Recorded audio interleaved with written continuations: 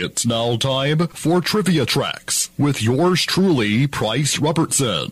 This episode of Trivia Tracks is brought to you by Ouachita Valley Respiratory Care, where you can breathe a little easier, and Beth Smith at Edward Jones. Edward Jones, making sense of investing, member SIPC. North Little Rock's premier minor league baseball team is the Arkansas Travelers, whose name derives from what was once our state song, the Arkansas Traveler.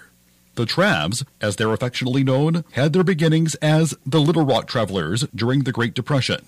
In 1957, the Travelers became the first baseball team and the first sports team in history to claim the whole state of Arkansas. After the 1958 season, the Travelers called Shreveport, Louisiana home, then took a break the next season and were finally revived in 1960. Since 1966, the team has been double A class level and is also the AA affiliate of the Major League's Los Angeles Angels of Anaheim. Between 1976 and 2007, Bill Valentine served as the team's general manager. Before that, he was the announcer for Travelers games. Under Valentine's stewardship as manager, attendance for Travelers games increased, with the team winning five league titles. Until his retirement in March 2009, Valentine served as the team's executive vice president. For 73 years, ending in 2012, Ray Winder Field was the home field to the Arkansas Travelers. The field, named Traveler Field early on, was renamed for the man who took part in handling the business affairs for the team for 60 years.